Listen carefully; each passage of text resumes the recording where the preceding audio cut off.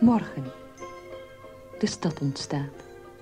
Ik loop in haar geboorte met zoete ruggengraat.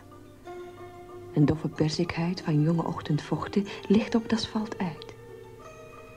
De schoenen aan mijn voeten geven een kusgeluid. De tram, mijn gele bruidegom, houdt voor mijn kleine voeten stil. En ik beklim het voorbalkon. De conducteur kijkt achterom. De directeur, de handelsman, zijn ook van gisteren weer om. Een paar kruimels beschuit veeg ik nog van mijn lippen die ik naar voren tuit.